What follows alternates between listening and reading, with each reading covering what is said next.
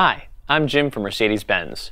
I'm going to show you how to recharge the battery in your B-Class electric drive. The B-Class is powered by an advanced high-voltage battery pack.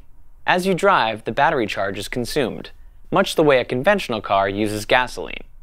Recharging a battery is different from refilling a gas tank, of course, but there are also differences in your driving range, and how the battery responds when its charge runs very low.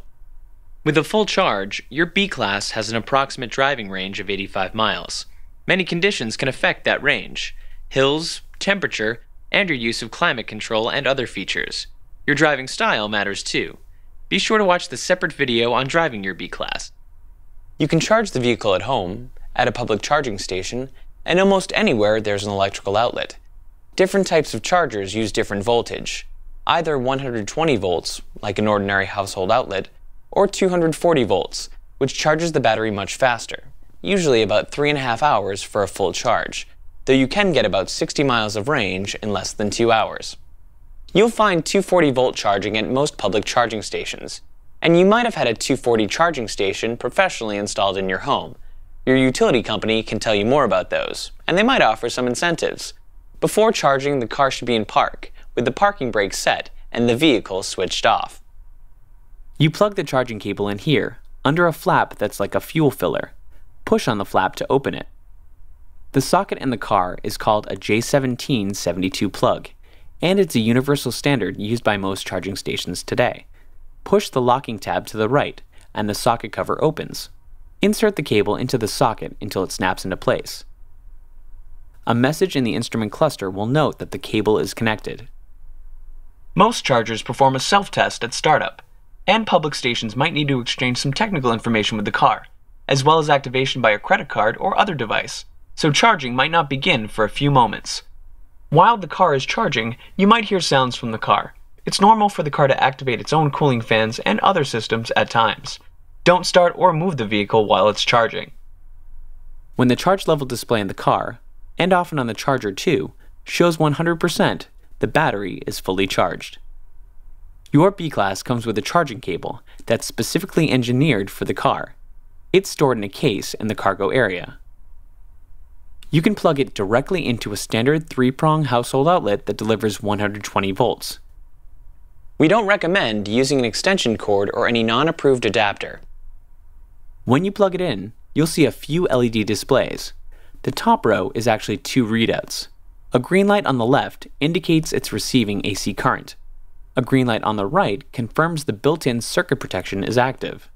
It might take a moment for these to appear after a self-test. If either lights up solid red, unplug the cable from the wall and see your operator's manual. The lower indicator shows the rate of charging, low or high. You switch between the two by pressing the round button. Use the low setting if your 120 volt outlet cannot handle the higher setting and trips its fuse or circuit breaker. You should always check the maximum permissible current for the outlet, or ask a qualified expert, and adjust the charge setting as needed. Drawing too much current can overheat the circuit and create the risk of fire.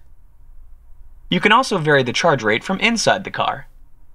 Using the multifunction steering wheel, select the Settings menu, then eCell, Maximum Charge, and make a selection. The charger will always use the lower value between the car setting and the cable setting. A full charge can take up to 30 hours or more using 120 voltage. There might be rare occasions where a few extra miles of range are necessary, like if the availability of charging stations at your destination is very limited. If you press the optional Range Plus button, the next charge cycle will be extended, along with the driving range. Please be aware that the more you use this feature, the more you shorten the life and overall range of the battery. It's only for occasional use.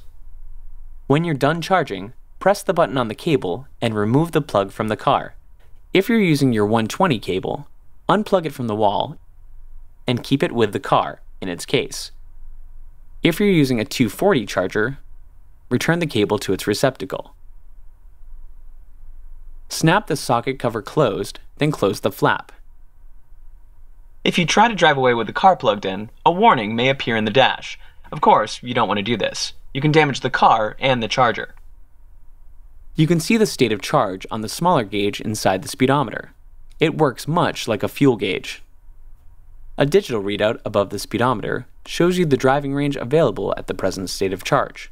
Again, driving style and other conditions can vary your actual range. If the charge drops below 13%, the reserve indicator lights up in the charge gauge. Charge the battery as soon as possible. Below 5%, vehicle performance will be reduced in an effort to preserve remaining range and protect the vehicle. If you approach 0%, you'll see a warning to pull safely off the road immediately, since the car is about to turn off. Please read your operator's manual for more information about charging and storing your electric vehicle. If you have further questions, your Mercedes-Benz dealer will be happy to help. Thanks for watching.